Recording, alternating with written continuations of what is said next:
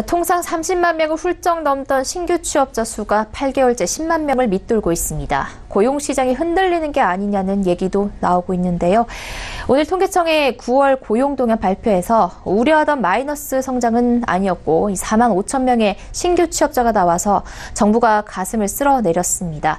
하지만 정부는 20대 신규 노동 유입 인구가 줄어들어 앞으로도 신규 취업자 수가 안 좋을 수 있다고 입장을 내비쳤는데요.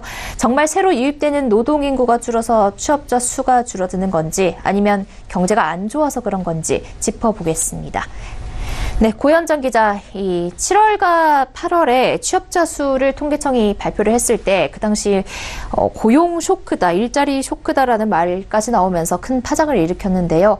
지난달 지표는 좀 나아진 것 같은데 실제로 고용 상황이 좀 괜찮아졌다고 볼 수 있을까요? 네, 먼저 지난 9년간의 7월, 8월, 9월의 취업자 수 집계표를 살펴보시겠습니다.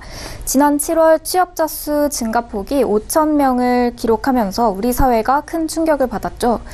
어, 그래서 청와대 긴급회의도 어, 소집이 됐었고 고용노동부가 참 바빴습니다.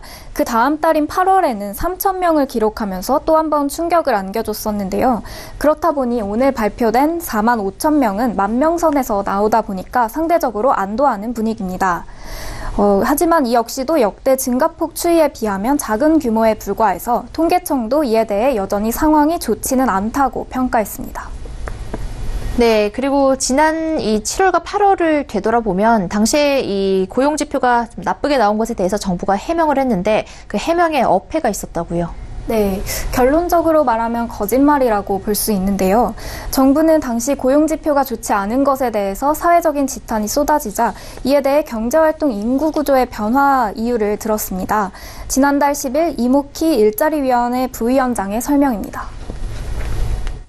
예, 노동 인구가 이렇게 급격하게 줄고 있는 상황에서 30만 명, 40만 명 신규 취업자 수 이거는 이제는 다시 오지 않는다.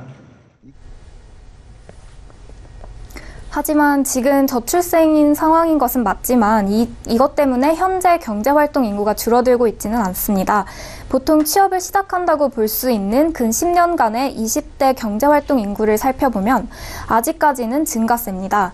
하지만 20대 경제활동 인구의 전체 대비 취업자 비중은 점점 줄어들고 있는 걸 볼 수 있는데요. 격차가 커지고 있다고 이해를 하시면 됩니다. 때문에 노동인구가 급격히 줄어서 신규 취업자 수가 줄어들었다는 말은 논리가 떨어지게 되는 겁니다.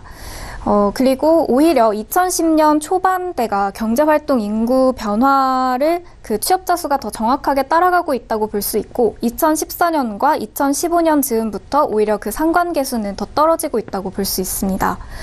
어, 그렇기 때문에 그 그런 경제활동 인구의 변화가 영향을 미치는 것은 다소 어렵, 논리적으로 논리력이 떨어진다고 볼 수 있는 거죠. 네.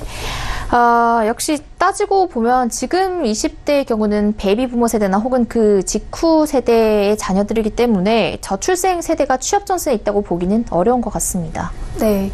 그래서 통계 전문가들 역시도 그 저출생 추이가 실제 경제활동 인구 구조의 변화에 영향을 끼치는 시점은 앞으로 약 10년 뒤가 될 거라고 보고 있습니다. 네. 그리고 이 취재 과정에서 또 인상적인 현상을 발견했다고요. 네, 세대별로 취업자 수 그 변화를 살펴봤는데요. 1999년부터 지금까지 세대별 취업자 수를 살펴보면 15세에서 29세의 그래프만 다소 다른 경향을 띠고 있는 걸 발견할 수 있습니다. 전반적으로 청년층을 제외하고는 다 분명한 증가세인 반면 청년층은 그렇지 못하고 있는 건데요. 50대 경제활동 인구의 전체 대비 취업자 수는 거의 큰 차이가 없이 끝까지 가고 있습니다. 하지만 청년층의 경우에는 그 갭이 클 뿐만 아니라 비중 자체도 처음에는 절반을 넘었다면 뒤로 갈수록 그렇게 되지 못하고 있는 상황인 것을 발견할 수 있는 거죠. 네, 고용 통계에서 인구 구조 변화를 논하기는 아직 이르다는 생각이 들고요. 청년층의 취업난이 정말 심각하다는 걸 확인할 수 있었습니다. 어, 그리고 최근 통계청의 일자리 동향 자료를 두고도 감론을박이 많았는데 여기서 더 고민해봐야 할 부분이 있습니까? 네. 이게 거시적으로 보다 보면 일자리 문제는 어떤 특정 정부의 잘잘못이라고 판단하기는 다소 어렵습니다. 일자리 상황은 외환위기, 외환 위기 이후에 늘 좋지 않았고 복합적인 요인이 많았기 때문인데요. 아, 다만 이런 기조적인 추세에 더해서 근 3년 들어서 특히 하락폭이 굉장히 컸다는 점은 우리가 발견할 수 있었습니다. 때문에 좀 더 현명한 정부가 되려면 엉뚱한 이유를 가져다가 해명하는 것만은 피해야 할 겁니다. 정책 방향 자체에 아- 악영향을 끼칠 수 있기 때문입니다. 일자리 창출에는 정부와 기업 각각의 역할이 분명히 있다는 것을 착안해서 세금으로 만드는 면피성 일자리 처방에만 급급하지 말고 그 새로운 고민을 할 때라고 직접 만난 전문가들은 입을 모으고 있었습니다. 네, 지난 3개월간의 고용 통계 논란에 대해 고현정 기자와 짚어봤습니다. 말씀 고맙습니다. 고맙습니다.